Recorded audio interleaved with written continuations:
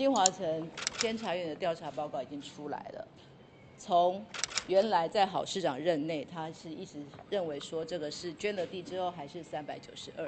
后来金华城去监察院，监察院纠正了台北市政府，纠正了郝市府说，你你人家已经捐地完，你应该回复到五百六，所以百分之五百六十是监察院的决定。所以后来柯文哲上任之后是依法行政恢复到五百六十，这是监察院的纠正报告。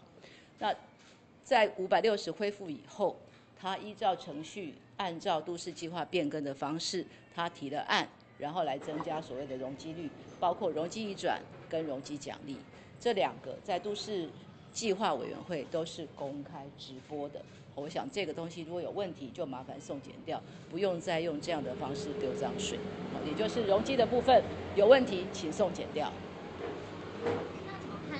那个元寿说他们根本没有跟北市府谈过，然后会议记录可能就是假？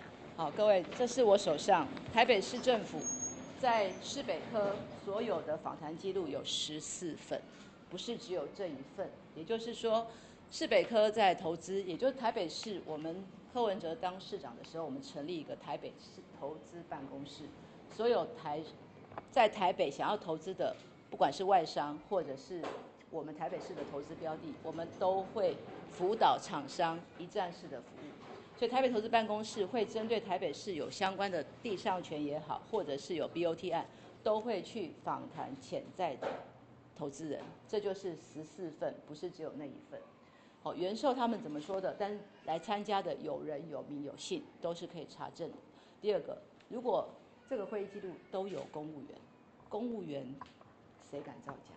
所以议员要指控公务员造假，台北市政府的高层有义务出来帮公务员做说明。第二个，这些公务人员他们非常积极，一个投资案不会有人比业界更了解市场。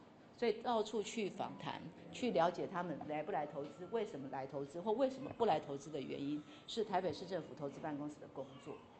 所以这个案子从开始到才标不出去，然后我们要去问厂商为什么你不来投标。第二，到拆标之后还要再去问厂商你可不可能来投标，这都是台北市投资办公室的事情。产业发展局的同仁非常的认真，市北科他所有的招商说明会，连我本人都参加过好几次。去写询问跟了解各大厂商为什么来或为什么不来，好，所以也没有什么捏造的问题。好，投资办公室就是在做这件事情。那台北市在所有的厂商投资的过程里面，尤其 T 十六、十七、十八，当时因为是疫情期间，然后状况不明，好，景气也不确定，所以很多的厂商都打退堂鼓。到后来我们重新估价。包括访访商，然后重新估价顾问公司的建议，然后再去了解市场的状况，然后进行了拆分标。所以重点是，今天所有的东西都是公务人员跟着整个案子一起走的，所以不要把公务员当成政治恶斗的工具。尤其是蒋万安市长不懂，李副四川副市长，我相信他不可能不懂。重点是你们把公务员放在第一线，任由所谓执政党国民党的议员。跟着绿营的议员一起在里面恶意的操弄，没有帮公务员说半句话。我相信啊，所有现在台北市政府的公务员应该都非常的惶惶不安，因为他们不知道什么时候会被自己的长官出卖。我还是要强调，不要把公务员当成政治恶斗的工具。这个是台北市所有的资料都可以调查，市政府你只要把这些公务公公务资料调出来。帮公务员说句话，这些人都是为了台北市政府、为了市民做事的，不要用因为政治而蒙蔽了你的眼睛。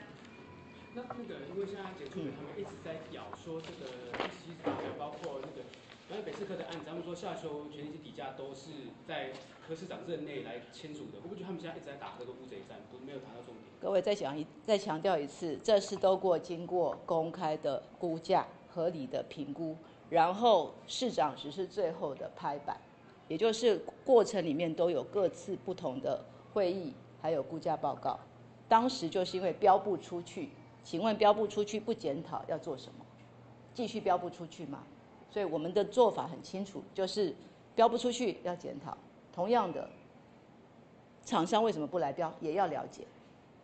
如果依照他们的状况，就是标不出去，你就是永远绑在那边，然后什么事都不做。到今天也标不出去，各位，这个案子估底价 total 里加起来在八十几亿，我们大概达到了一百二十几亿，这是为台北市民争取到的最大利益。